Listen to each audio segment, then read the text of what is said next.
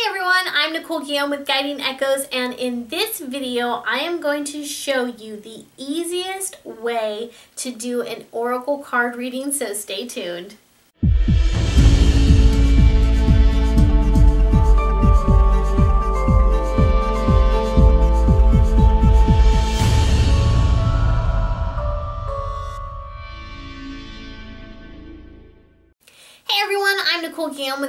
Echoes and in this video I'm going to show you a very simple yet very powerful three card spread that you can use for any oracle deck.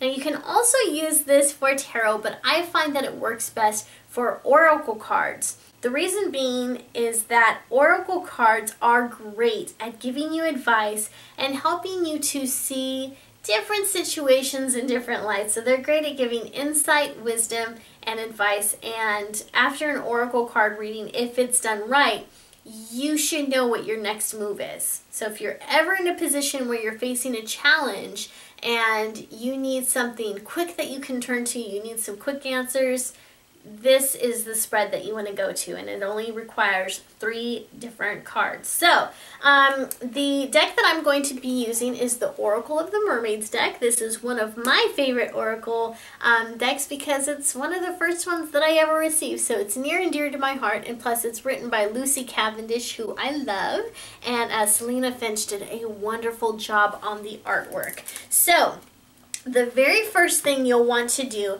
is focus on your question. Focus on the challenge or the difficulty that you're facing right now. Now you can do this for yourself, but you can also do it for a friend. So if you have a friend or a coworker or neighbor or whoever that's in dire straits and they're in need of some type of wisdom or guidance, this is a method that you can use for them.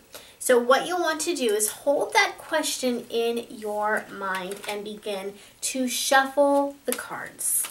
Okay, so with that question in mind, whether it's your own question, whether it's a challenge that your friend is facing, start shuffling the cards.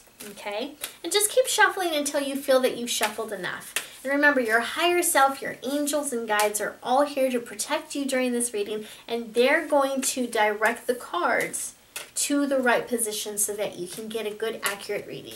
And if you want to, you can even say a little prayer over the cards. You can ask your angels and guides and higher self for help with this so you can pull the right cards and get an accurate reading. Okay? So once you're done shuffling, you can either keep them like this if you want, or if you're like me, you're to split that deck. I'm a deck splitter. And then you're to go ahead and pull your three cards. So the very first card is going to represent what you are ignoring in the situation. Okay, it's either what you don't see or what you're ignoring. There's a slight difference because what you don't see is really what you can't see. What you're ignoring is what you're aware of, but you're refusing to see it. You don't want to acknowledge it's there. Okay, so for an example, we'll go ahead and pull a card from the Oracle of the Mermaids. And the first card is um, Ur uh-oh. it's Urama? Ur Urmarama. Urmarama. Sorry. Um, it says Wonder Voyage, Crossing Deep Waters, Pilgrimage, or Journey of the Soul. So if you were to pull this card, and remember this card represents what the person is ignoring, whether that's yourself or the person you're reading for, and this is the card you would pull, what would you say that they're ignoring? Look at, you know, on the bottom we have Wonder Voyage, Crossing Deep Waters, Pilgrimage, or Journey of the Soul. And of course, if you needed more information on this card, if you weren't sure, you could just turn around and go to the booklet, find out what the booklet has to say. Or you can even look at the picture. If I were to read this card, I would probably block out the words here. That's just me. And I would look at this picture and see how this mermaid is almost reaching the dolphin, but she doesn't quite, she can't quite get it. I would say that what the person is ignoring to do is she's ignoring to reach out to her friends. I would assume that dolphins and mermaids are natural friends, don't you think? So I would think that they're not reaching out to their friends who can help them during this time of trouble and need. Okay? But you may read this and you may see say that journey of the soul is down here and crossing deep waters, so maybe they're afraid to take the next step. They know what they need to do, but they're not diving into it, right? So that's a possibility. So the first card is what they're ignoring or what they can't see. The next card represents what do I need? Okay, what does the person you're reading for need or what do you need in this situation?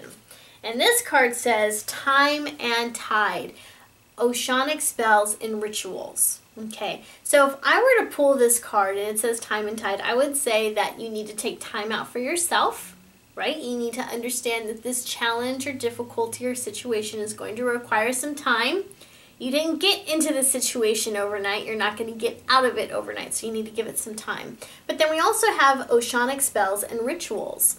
Now, this may not mean an actual ritual for you, um, for me, a ritual would mean something that you do every day. Getting up out of bed, brushing your teeth, combing your hair, that's kind of a ritual. So maybe you need to put some type of ritual into place that can drag you out of the slump that you're in. Or maybe you need to start reaching out to your higher power or to the divine spirit that you believe in and start praying. You know, start asking for help from your higher self, from those higher spirits. So that's a possibility as well. So that's what you need. Okay, that's what you need to do. So the next card is what should I do? And here we have transparency. And it says honest, authentic, genuine, and present. So what does that tell you?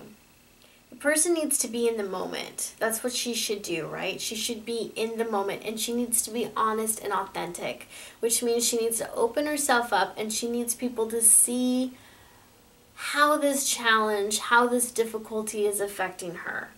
So all of this actually flows together beautifully because in the beginning, we saw what she was ignoring or what she was failing to do was she was failing to reach out to her friends, right? And then over here, we also know that she's not reaching out to her higher self or to God or whatever she believes in because, again, ritual came up, right? So that's something that she needs to do not only to gain the attention of the spirits around her, and well, they always have your attention, but it's more like giving them permission to act. So that's what she needed. She needed to give them permission to act but she also needs to build that relationship with them. And then as far as the action that she needs to take, well, we have transparency. She needs to be honest and open. You know, if you don't tell people about your problems, they can't help you through them. Not everyone's psychic like me. Not everyone's psychic like you. You need to you need to actually use your voice and your words sometimes to get the messages across. So that is a simple three card spread that can help you to gain insight, wisdom, and advice on virtually any challenge and difficulty that you're facing in your life. So if you have any questions about this spread, feel free to put them in the comment section down below. And if you have any comments, I'd love to hear those as well. So if this is your first time watching one of my videos, I would love to welcome you to the Guiding Echoes community. And I'd also like to invite you to subscribe to this channel so you can be notified when I release new videos in the future. If you would like to learn more about me or if you would like to order a personalized tarot or oracle card reading, please visit my website at guidingechoes.com. Thank you for watching. I'll see you next time.